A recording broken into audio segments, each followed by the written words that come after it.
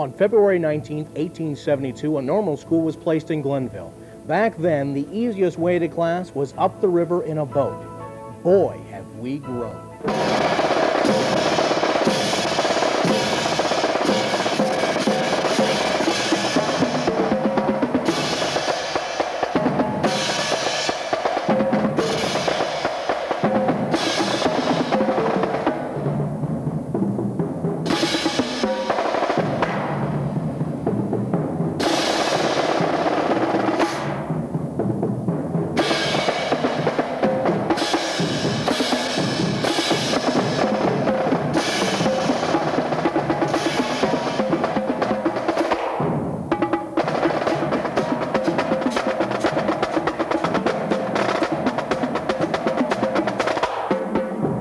We are pioneering into the 21st century.